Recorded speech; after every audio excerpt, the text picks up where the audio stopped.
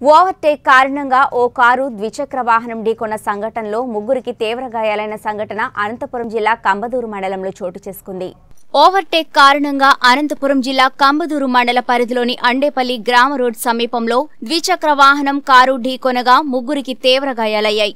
అత్యవసర చికిత్స నిమిత్తం ఈ ఘటనలో గాయపడిన ముగ్గురిని అంబులెన్స్ ద్వారా కళ్యాణదుర్గం ప్రభుత్వ ఆసుపత్రికి తరలించారు. ఈ విషయం తెలుసుకున్న పోలీసులు ఘటనా స్థలానికి చేరుకుని కేసు నమోదు చేసి దర్యాప్తు చేస్తున్నట్లు తెలిపారు. ఈ ప్రమాదంలో గాయపడిన శివ ప్రతాప్ అశోక్ అనే యువకులు అండేపల్లి గ్రామానికి చెందిన వారిగా తెలుస్తుంది.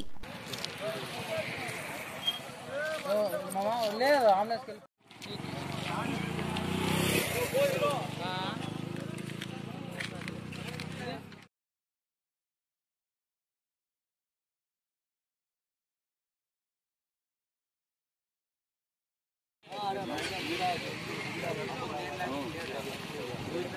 బాగా బొమ్మలు